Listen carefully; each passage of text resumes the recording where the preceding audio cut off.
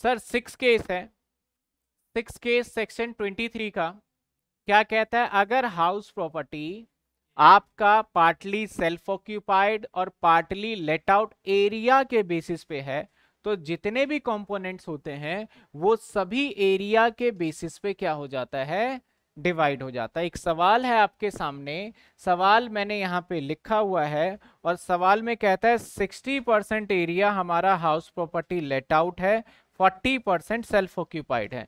तो मैंने यहाँ पे सारा पॉइंट 40 परसेंट और 60 परसेंट में बांट दिया है और जो सेल्फ ऑक्यूपाइड है, वो डायरेक्टली एनएवी ज़ीरो आ जाएगा, बाकी लेट आउट यानी दो सिचुएशन को, दोनों को अलग अलग मान के यहाँ पे काउंट करना पड़ेगा।